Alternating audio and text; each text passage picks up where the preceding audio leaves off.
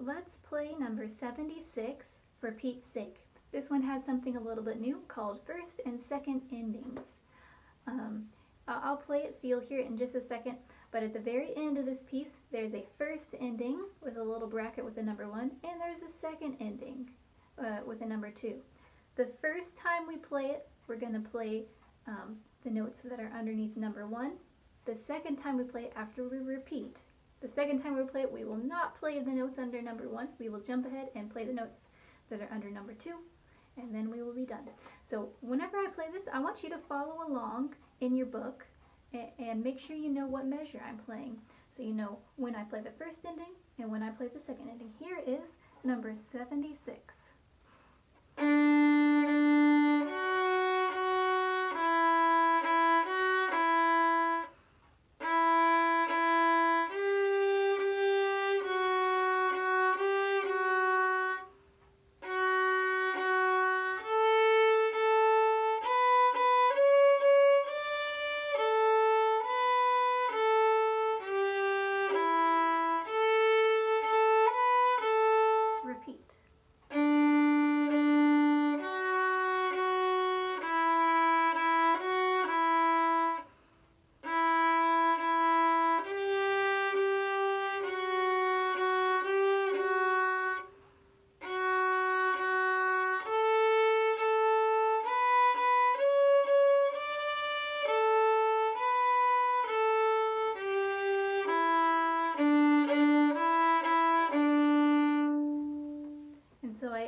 With those last two measures under the second, uh, the second ending.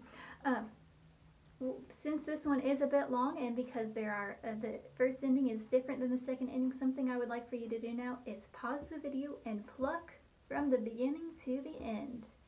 So once you've done that, um, you can unpause the video. So go ahead and practice that on your own now.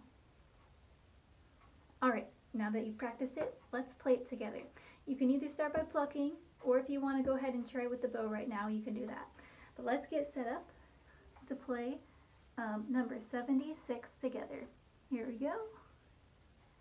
One, two, ready, play.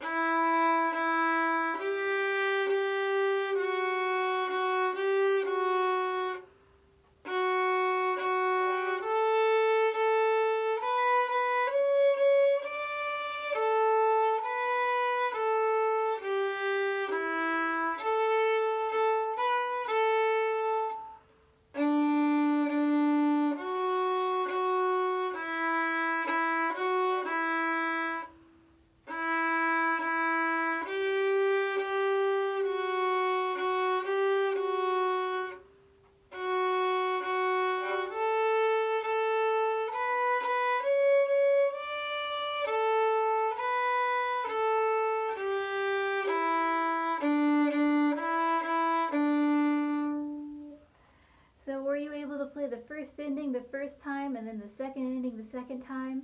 That's something to make sure that you do whenever you practice on your own. And that, uh, so you played it, you listened to me play it, you practiced it plucking on your own, you played it with me. Now the next step is play it on your own with the bow and make sure you play the first ending the first time after you repeat. Make sure you don't play the first ending and instead play the second ending.